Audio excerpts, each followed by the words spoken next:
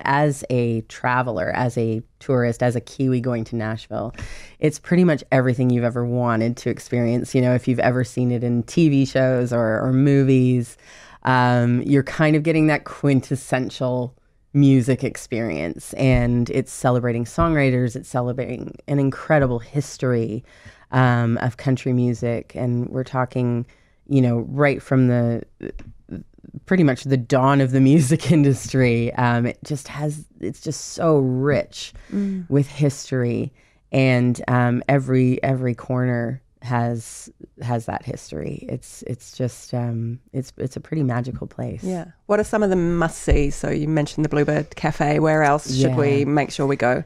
Oh, well, definitely the Ryman Auditorium. Mm. The Ryman Auditorium, they call it the Mother Church because it was originally a church, um, but was quickly taken over by concerts and everyone from Louis Armstrong to um, God, most recent, everybody plays that room. Uh, the history on that stage, you know, and, and of course, goes without saying the history of country music. The Grand Ole Opry, which is the world's longest running uh, live radio show um, was performed on that stage for decades.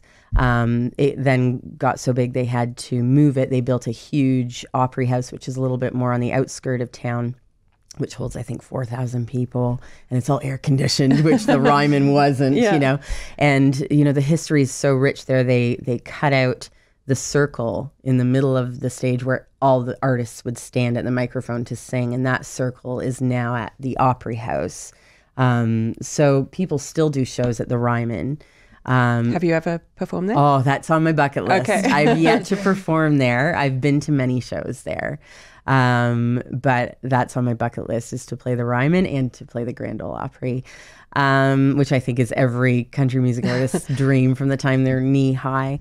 Um, but it's just such a rich fabric and you know and you just want to be a tiny thread in that fabric i mm-hmm. recently binge watched the Ken Burns documentary country music which just came out a few months ago and just the incredible 16 hours of the history of, of country music and you could barely scrape you know the surface yeah. but um, just to be a tiny thread in that fabric is is amazing